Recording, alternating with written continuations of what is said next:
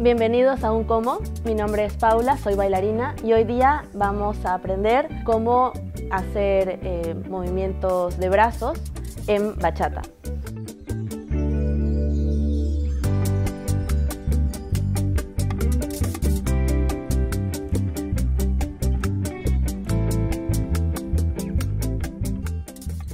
Empezamos con los movimientos de brazos en bachata.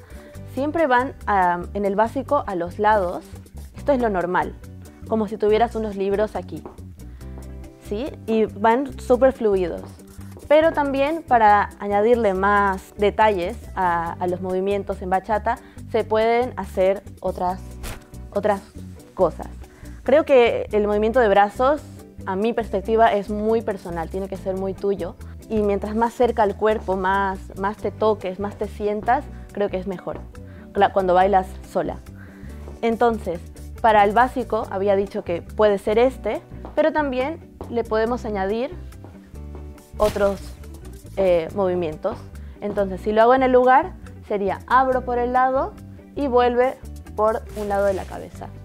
Puede ser así y cae. Abro y vuelvo. Lo mismo con el otro. Abro y vuelvo. Vuelvo, paso por atrás o también paso por delante. 1, 2, 3, 4, 5, 6, 7, 8. También hay otro paso que puede ser por delante y así. Pero eso lo veremos en otro vídeo. Ahora solo movimiento de brazos. Entonces puede ir por el lado o puede ir por el otro. También pueden salir los dos al mismo tiempo y vuelve por el centro. 1, 2, 3, 4, 5, 6, 7, 8. Vuelve por detrás de la cabeza. En el lugar sería 1, 2, 3, 4, 5, 6, 7, 8. También hay otros movimientos que son acariciando el cuerpo. 1, 2, 3, 4 y de aquí baja, baja por los lados. 7, 8. Otra vez. 1, 2, 3 y 4. Aquí cruzo. 5, 6, 7, 8 o 8. Depende de qué tan rápido lo hagas. 7, 8. Eh, con un paso, para ejemplo, podría ser 1, 2, 3, 4, 5, 6, 7, 8. En el lugar 1, 2, 3, 4, 5, 6, 7, 8. Entonces ya tenemos a los lados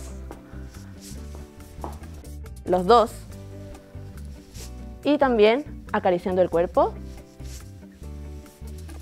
Eso sería en sí lo básico que puedes añadir como detalles a, los básicos que ya conoces de bachata. En sí es para darle como más elegancia y más em, complicar un poco más lo que ya sabes de bachata. Pero mientras más naturales, elegantes eh, se vean, mejor. No se ve muy bonito que estén descontrolados. Y siempre como arriba.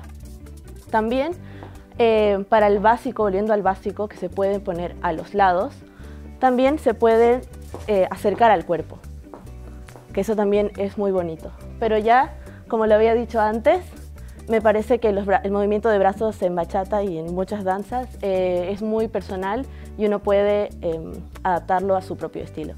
Entonces, de espaldas el movimiento sería por el lado, y vuelve por detrás de la cabeza y cae por el lado del cuerpo. El otro brazo sería 1, 2, 3 y 4.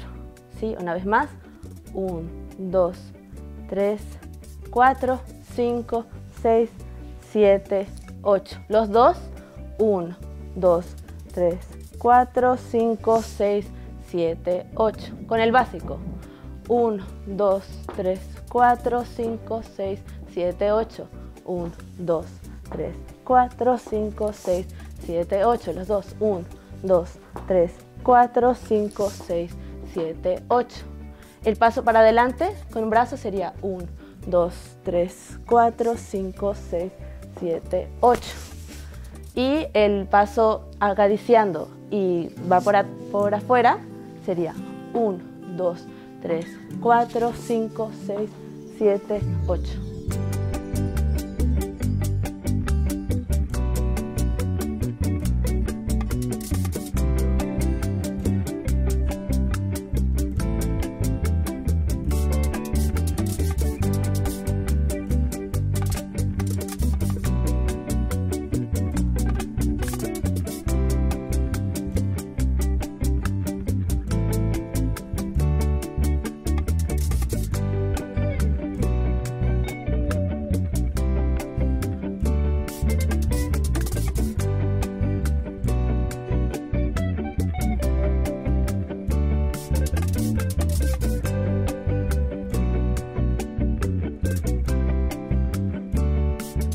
Gracias por, ver este vídeo.